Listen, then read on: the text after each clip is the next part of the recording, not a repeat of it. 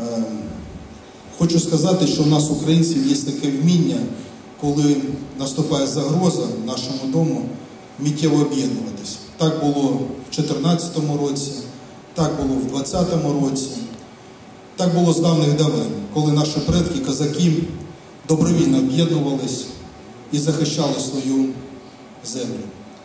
Так і сьогодні тисячі добровольців в лавах Збройних сил України спочатку захистили, зупинили ворога, а зараз б'ють його по всій нашій території. Хочу подякувати кожній і кожному за те, що добровільно захищаєте нашу країну.